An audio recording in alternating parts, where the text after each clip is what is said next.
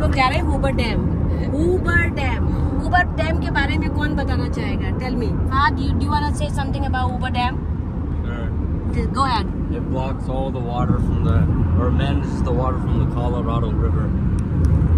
Okay. That river supplies all the water for the southwest region of America. Wow. Arizona, Southern California, Nevada, Colorado. Okay engineering.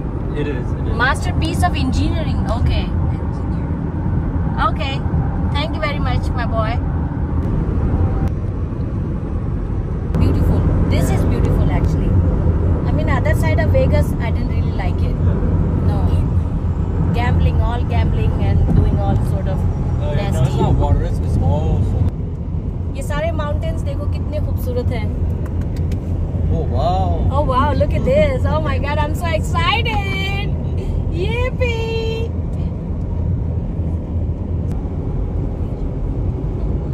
There's no tree. There's no what? No trees. No trees. Yeah. Yeah, no We're in desert. Yeah. Just burn down everything. Fahad ne kaha we are in desert. oh yeah, doesn't no. rain here. Oh yeah, no tree. we are in desert.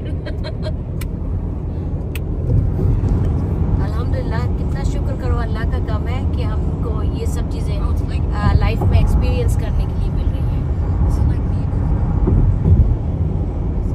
हम लोग बहुत blessed हैं अल्हम्दुलिल्लाह अल्हम्दुलिल्लाह for everything In about one and a half miles, the destination is on your right. Hoover Dam Visitor Center. Yeah, Hoover Dam Visitor Center. Okay. I think we have to pay. हाँ I think यहाँ पे access फ़ी है let's see i think i heard 15 dollar or 20 dollar something per car but we can find out yes Hoover Dam security checkpoint what hello any guns no. no. Drones? Nope. Stay to the left. I'm day, guys. Thank you. कितनी अजीब सी बात पूछी है नहीं guns हम क्यों guns लेके जाएँगे और जाएँगे नहीं अगर हम जाएँगे तो बताएँगे क्यों Why would I say yes? I'm carrying guns. इधर जाना सही जा Welcome, welcome, welcome. Hoover Dam. Look at this dam. Ticket नहीं आता Calm down. Scenic down. view, chale? Oh, baby, calm down. Have fun. Yeah. Want to go scenic yeah. view? Yeah, I think we should. Scenic view, oh,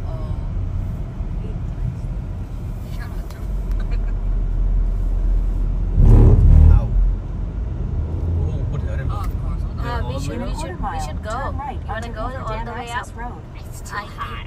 It's okay, it's okay, it's okay. You won't melt, my love. Morning.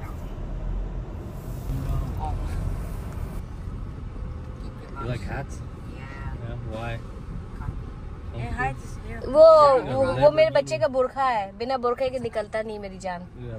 क्या देखने जा Oh, wait, I gotta take a picture. They Okay, brought उस तरफ़ Lambo जा। to the Hoover Dam. Can I take a picture of that, please? I can.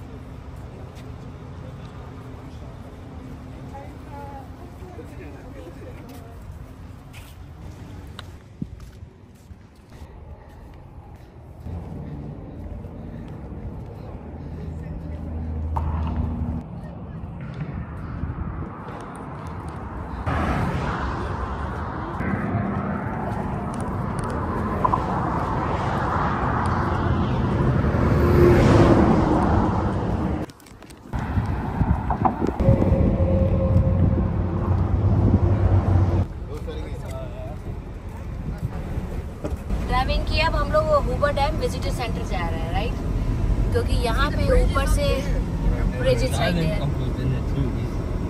yeah. Exactly so Oh, so this is the bridge we were walking. Yeah. Yeah, yeah that's a bridge. know. We were on the top of the bridge. Now we are driving below the bridge. और इतना इतना इतना गर्म था कि बस समझ लो कि आज चिकन की तरह रोस्ट हो गए हम लोग टेम्परेचर 105 हो रहा है right I told you. I know you man अभी हम विजिटर सेंटर जाएँगे अंदर और वहाँ पे प्राइवेट टूर लेंगे जिससे हमें और भी मालूम होगी इस डैम के बारे में। Look at man is hanging right right right look at there look at look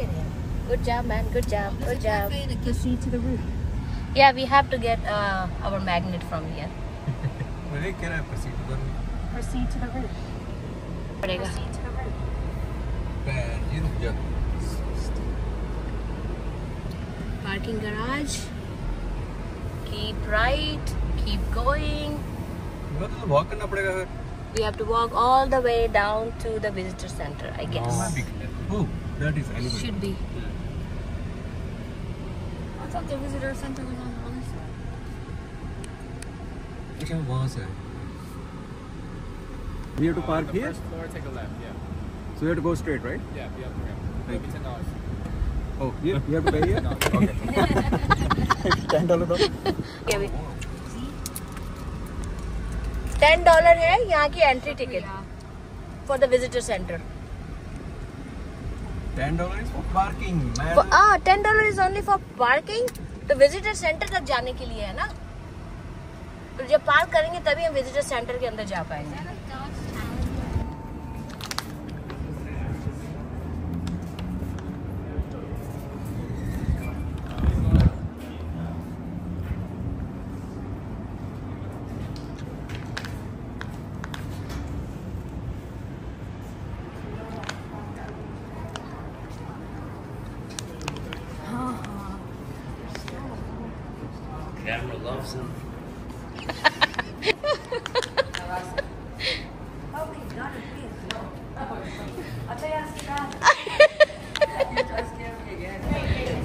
यहाँ से आप गाइडेड टूर ले सकते हैं। Dam tour thirty dollar plant tour fifteen dollar dam tour चाहिए पावर प्लांट का हमें ज़रूरत नहीं है। Dam tour has power plant. Oh it's included तो थर्टी डॉलर में सारा कुछ इंक्लूड हो जाएगा। Extended package Is it per person? Not per person पूरा ग्रुप का है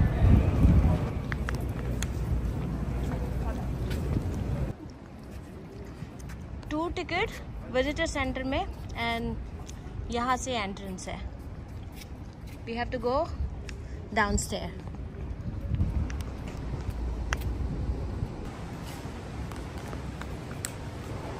क्या हो रहा है?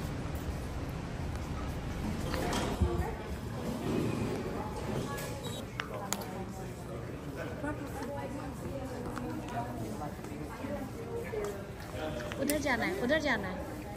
अदर साइड पीछे पीछे।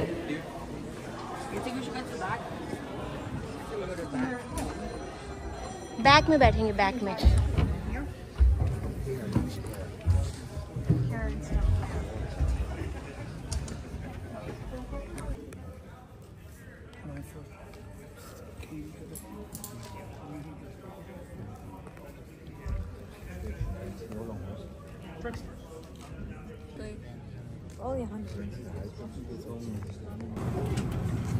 All right, welcome everyone. So my name's Adam. I'm going to be your power plant guide.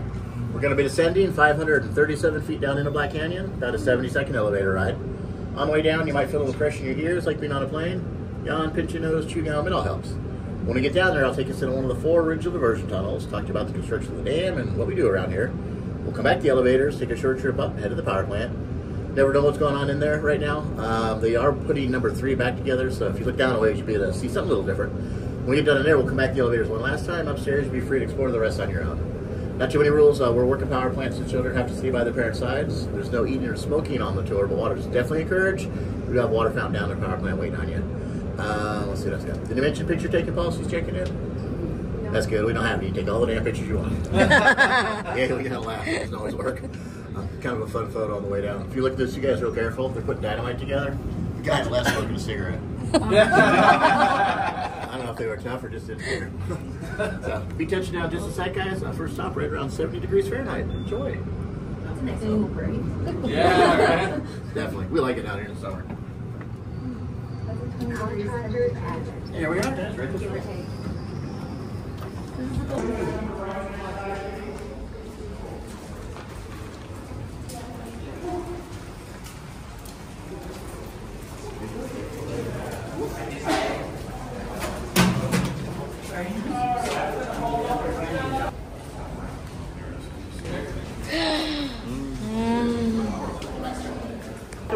So for the folks that ride down with me, my name's Adam. I'm going to be our power plant guide. We're actually standing right here. We're inside one of the four original diversion tunnels. Now each tunnel is 50 feet diameter finished. They're roughly 4,000 feet long. It took nearly two years to blast out the solid bedrock. The initial purpose of those diversion tunnels was to move the river away from the project during construction. It would have been difficult to pour concrete into a moving river. Now to move the river, they put in what's called a coffer dam. There's two sections. The upper dam forced the river into the tunnels and around, while the lower section stopped the river from backing up into the area. Once they were in place, they pumped the water out of the entire area, dug down 135 feet to the hit bedrock. That basically became the foundation for the dam. When construction started, buckets containing 8 cubic yards of concrete were lowered down from above on the average of about every 78 seconds. And that went on 24 hours a day, 7 days a week for almost two years. Everyone's seen a cement truck, right? Drum on the back. That's about the size of the buckets we're hanging over these guys' heads. 16 tons of concrete in each one. So I imagine it got pretty scary down there. Near the end of the completion of the dam, they began to fill Lake Mead. It's our nation's largest man-made reservoir. To fill the lake, they closed off three of those diversion tunnels, but one did remain open, which allowed some of the river to continue downstream. Of course, people downriver studied water. Now, as the lake began to fill, water started going into our four intake towers. When you look out across the lake, you'll see the things sort of look like castle tops. Those are our intakes. Once water started going into them, pardon my allergies today. Once water started going into them, they closed off the last diversion tunnel. Now they can take advantage of all that water being requested downstream and actually running it right through both sides of the power plant. The goal was to make as much money back as possible to pay off the original loan. It was a depression, money was pretty tight, so the Treasury Department had a couple rules. The loan had to be paid off in full with interest within 50 years, and they couldn't use any tax dollars, sort of. They got the loan, but they had to be reimbursed. Now they accomplish that. They put in our power plant. We take advantage of the water we're sending down on behalf of the people to produce our power. Even today, it keeps us off the tax dollar. We're a non-funded federal facility. Nobody's tax dollars come here. We actually pay the majority of our bills in house, basically by borrowing people's water for a few seconds. So it's kind of a cool system. When water goes into the intake towers, it goes into 30 foot diameter penstock pipes. We're standing above one. If you peek over the sides, you can see it out there. Each one of these pipes can handle up to 96,000 gallons of water per second. Just one pipe will fill an Olympic-sized swimming pool in under seven seconds. So it kind of gives you an idea how much water we can move around, if we have to. We don't do that all the time, but we can move a lot of water. Those pipes reduce in size all the way down to 13 feet in diameter. That's where the water spins the turbines at the base of the generators before it drops right back into the river. Initially, the lower dam was blown up. They removed it so the river could move down unobstructed. And the upper coffer dam is still on the bottom of the lake today. They just saved some money and didn't take it out. Two other really important things at the dam are the spillways. We have Nevada Spillway and Arizona. Both were built just a little bit lower than the height of the dam. The reason they did that is the last thing I want Lake Mead to do is get so full it can go over over. Can't safely manage water that way and ruin the power plant, but we also can't provide flood control. That's our main job. So when the lake gets full, instead of going to the top, it just flows naturally into the spillways, it's regulated downstream that way and bypasses everything. Now the spillways have only been used twice. The first time was in 1941. That's the first year they filled the lake up. The only reason they did it was really just to test everything. Worked out really good. Second time was in 1983. That year the Rocky Mountains had an incredibly large snowpack on its western side. It was a lot bigger than anticipated for the season. And guess where almost all of the water comes from? Snow from the west side of the Rockies. From spring and early summer, the river just got out of control the lake feels just shy of seven feet from one to the top. But as planned, it went into the spillways, deregulated downstream that way for 63 consecutive days. That saved a ton of property damage down the river, but most importantly, it saved lives. Going back into why they built the dam, which flood control. So, so far we're doing a pretty good job. I like this line, to get you guys for a little extra time. um, in a nutshell, how the whole system works. Um, we'll start back before they built the dam. When we started talking about putting the dam in, everyone along the river showed a little concern because they were generally worried about once they got Lake Mead, what was going to happen to their water. Would it be taxed? Would it just something out of the ordinary? Everybody along the Colorado was using the Colorado itself to grow crops, feed their families that. So they wanted to make sure they were still going to get their water. So basically they said, no, go away, we don't want it to happen. Our Secretary of Commerce at the time, Mr. Hoover, later the president, said, hey, let's all sit down and figure out how to share the river. That's what the government's for. Let us negotiate how to do stuff. You can't tell us what to do. It's up to the states under what we say to do. We all know the rules. So that's what we did. We got seven states on our side, Mexico, all shut down. How do we share this river here? We got a lot of water, but we don't have enough water for everything all the time. And they realized as the countries grew, same water, more people, definitely wouldn't be enough. So they stuck with the basics. Drinking water irrigation only. That's all the river is supposed to be used for. It's in the state's hands, it's the honor system, but pretty much everyone plays nice. We also did something else which nobody's just catching on to, and I don't get it. They found it kind of wasteful letting excess water go into the ocean. They didn't use it all up that year, off it goes. Makes no sense. Depending on how you look at the world, could be toxic environment, definitely costly and expensive to get it back. You got somewhere to store it up in your lakes and reservoirs, why not hang on to it? If you gotta let the leftovers go. There's no reason, if you got a river going to the ocean, why every one of your lakes and reservoirs should be just completely full to the top, there's no more room, you gotta let the leftovers go. Sadly, nobody's doing it. Um, I get to talk to people from folks all over the world every single day. The big topic is when they see Lake Mead, they're like, oh my God, look how bad it looks. Next explain, well, yeah, we're in a drought. But what they did was they just cut the Colorado River off. Basically, any leftover water we have, we store up and down the system. Almost everyone I've talked to that lives coastal anywhere in the world, in the past eight years I've been here at least, um, I ask them how their lakes and reservoirs are doing with that river going to the ocean, and most people don't even think they have enough water to get into next season because of those topics of the day. We don't know what the future holds. We stay away from the genres of that. But that's not the point on the subject, because if you got somewhere to store your water, do it, because when you get in the ocean, might, you might not be able to get it back. We've proven that here. The Colorado Service services about 60 million people every single day with their drinking irrigation water. 30% of the produce in the entire country comes from our water. Mainly Southern California, Arizona, but everyone kind of pitches in. 70% of the nation's winter crops. And if we hadn't stopped letting that excess water in the we'd never have any water in the first place. That just goes back to the timetables from all the past and all that. Native Americans were telling us as soon as we got out here they were crazy because shoot, there's plenty of times where for years and years in the droughts, no water. On the flip side, a lot of times they had to move away from the Grand Canyon because there was so many years of excess snow, they're getting washed away. So it's a neat system. Start hanging on to water. It's a pretty easy thing to do. It doesn't matter how much money you have in the bank. You don't have any water, you can't feed your just kind of went back to the basics it works really good. All right, guys, let me get back to the elevator so this arrive.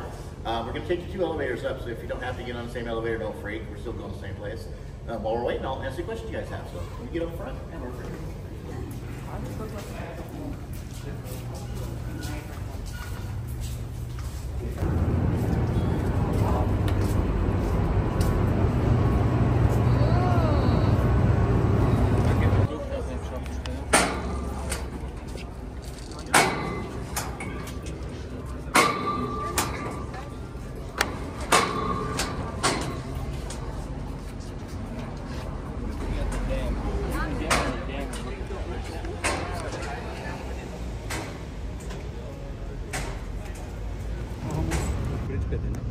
उस वाले bridge पे थे top में right there यहाँ का पानी है पर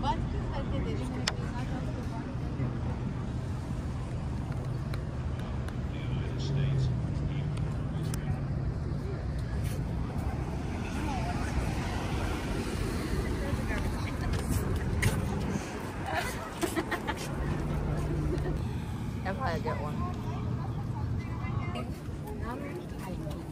Ya le dice a cada uno su agüita.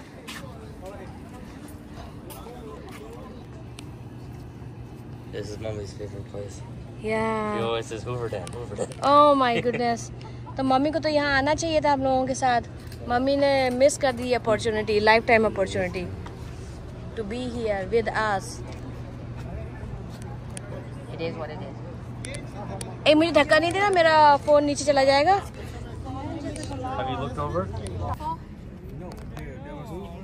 I'm not I'm not It's when they release it. They control when they can oh. drop the water. Yeah, they are releasing it right now. releasing it right now No, They're not. nah they are not I don't think so the electricity. Water is still.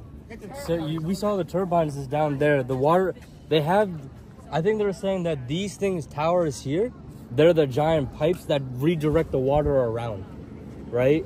And if they could send some of it down to the power plants. But yes, these two towers and those two towers, they're collecting the, the water. hmm very interesting Let's go fishing. यहाँ पे fishing नहीं हो सकती Yeah, you can go fishing. you oh really we can What do you think they're doing down there? oh wow वो तो उनके personal होंगे ऐसे कोई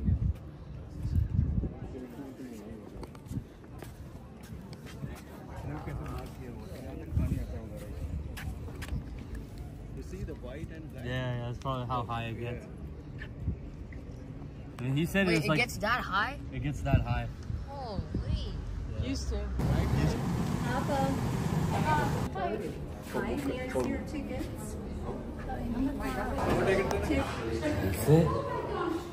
just to cool down actually come here oh right come here और ये और किसे आप रेडी वाली king king fam king fam what is that